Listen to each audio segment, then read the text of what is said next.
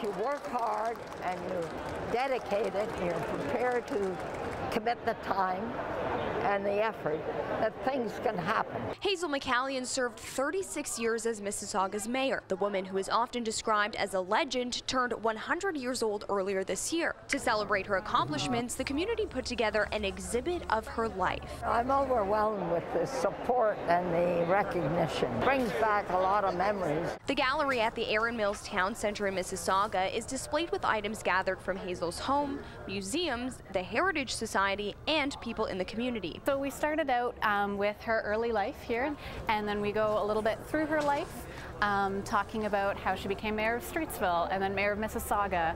And um, after that, we talk about specific projects and passions in her life. So we talk about sports. So we have hockey, we have fishing, um, we have fundraising, community events, um, architecture in the city. Lessons from her life that many said they learned from Hazel. Her story, her background, and um, it really inspired me to really go after my dreams as a kid.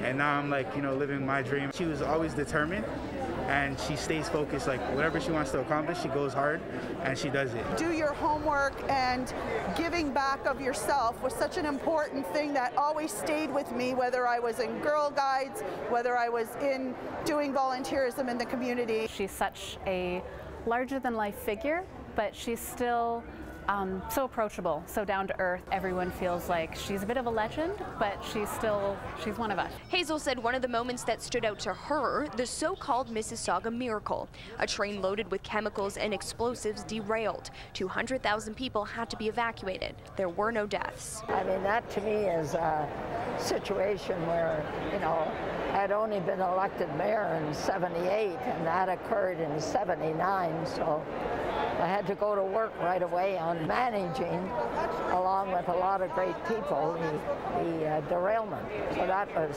very, very special. The exhibit runs until February 14th, 2022, or Valentine's Day, which also happens to be Hazel's birthday. Another reason they call her Canada's sweetheart. Or Hurricane Hazel, or even Mississauga's boss. Sylvie Lendvay, CHCH News.